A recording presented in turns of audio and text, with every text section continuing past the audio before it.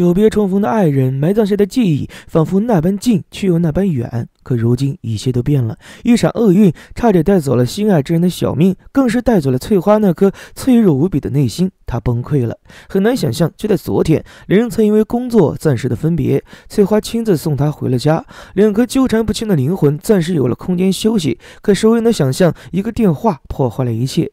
翠花惊慌失措地冲向医院，因为就在刚刚，一个噩耗传来，自己心爱的姑娘如今成了抢救室的软弱灵魂，一个在死神手边一度徘徊的姑娘。吉娜遭受了袭击，如今苟延残喘的在机器配合下得以虚弱的活着。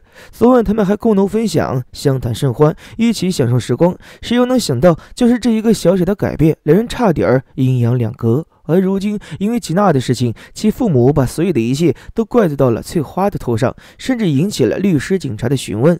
原本两人这份隐秘的爱情对所有人就是一个秘密，可如今被迫无奈地说出一切。在这种局面下，翠花忽然软弱弱的像个小孩，介乎失语，心头所爱的现况，卑微的自己，一切都是压力，默默压垮翠花。之后的日子里，翠花的脑子当中全都是吉娜的身影，默默的陪伴守护，终于换来了一份希望。吉娜苏醒了，在昏迷了整整五天之后，而可悲的是，因为脑部的袭击，吉娜被诊断为阶梯性脑部记忆损伤，简单来说就是。片段性失忆，甚至连自己的妈妈、父亲都不再认识，委屈的眼泪成了吉娜脸上的光影。而另外一头的翠花，在得知了这个消息之后，开心的像个孩子，不顾一切的冲向医院，冲向那个心爱女人的病床。但在今天，一切都变了。吉娜望向他的眼神里没有了爱，没有了光。